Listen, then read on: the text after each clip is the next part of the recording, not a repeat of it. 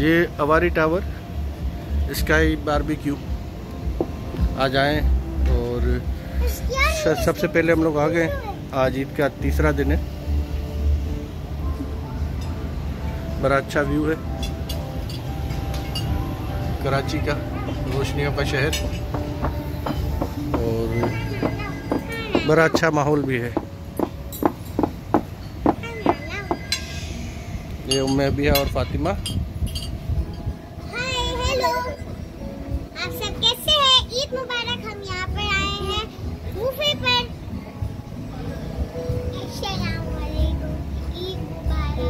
हम लोग यहाँ